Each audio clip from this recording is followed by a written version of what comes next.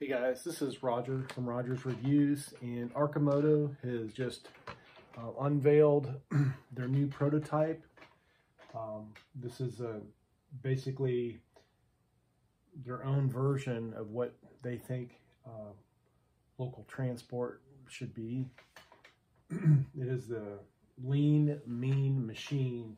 So if you guys are interested in looking at this, you can go to uh, arcimoto.com backslash MLM and you can get you can actually pre-order these for a hundred bucks.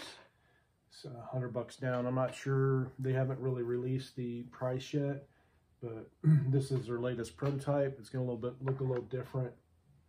Uh, what's cool about this is it's very uh, ergonomically correct. Um, and also this battery up top it shows it's not to be there. It's going to be encased inside the bike. It's going to be super stable and it's going to have pretty good range.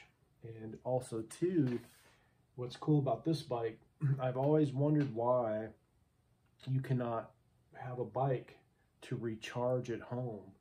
And basically what this is doing is you're not, it's pedal assist, but what you're the gears and the pedals and all that are not hooked up mechanically. There's no chains or pulleys or belts or anything like that.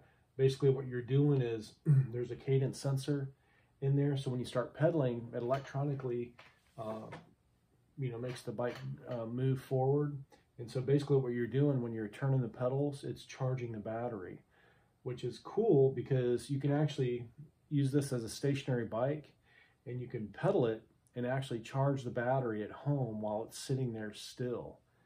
Um, it's just a really, really cool idea that I wish they would have came out with earlier. Uh, I went ahead and put my $100 down. I have no idea what these things are going to cost. I'm hoping uh, they're not real expensive, but of course, you know, anything that comes out first will be expensive, but I'm sure later on, uh, there's going to be some cheap knockoffs and they'll get better and better so everybody can afford them.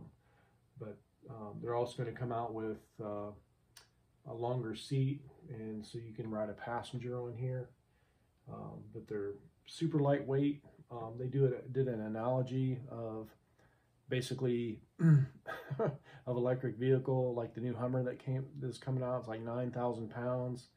Um, with all that weight and battery, you could make uh, two Tesla Model Ys, and then you could make like, um, I think like six or seven um, Arcimoto, uh, you know, the, the uh, cruisers. And then if you say take the same material and batteries from uh, making all that stuff, like you could make one Hummer or you could make a hundred of these.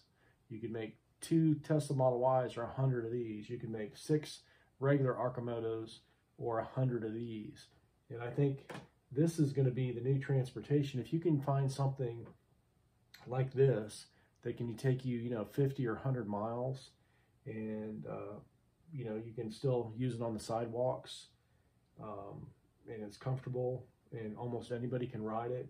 It also has the same torque vectoring and it's uh, you just have to watch this. So if you get a chance, go to this website and check these out and maybe even order one because even if you can't afford it, this hundred bucks is helping them uh, towards uh, transition to sustainable energy. So it's a good cause. It's a good company.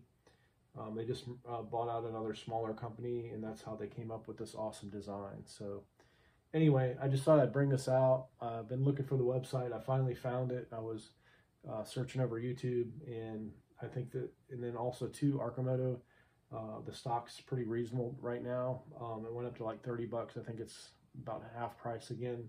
So I think this would be a very good company to, uh, um, that I, I think personally, I'm, I'm, I invested a little bit. I'm not a stock analyst or, um, I'm not, a, I'm not a financial advisor, but I think it's uh, something good that people should look into just to, I invested in Tesla um, because it's just uh, you have to invest in what you feel like the future should be, and if you don't, that future is never going to be there. But if a lot of people get their heads around it and they invest in our future, uh, I think we can all come out better. So this is Roger with Rogers Reviews. Check it out. If you like this video, crush the like button, and we'll bring you more of these videos once I uh, when I when I find them. Have a great day.